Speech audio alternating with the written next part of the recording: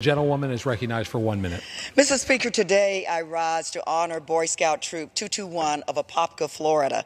They truly exemplify the Scouts' values of duty, service, character, leadership, and self reliance.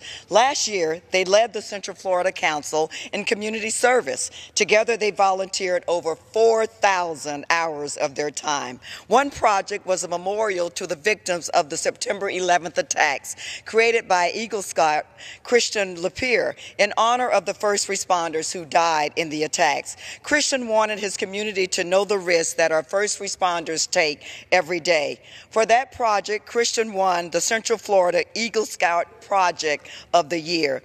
This week, I had the honor to meet with Troop 221 here in Washington. I am proud of all of our scouts, thankful for all they do for the community, and I can't wait to see what they do next. Thank you, and with that, I yield back. What purpose?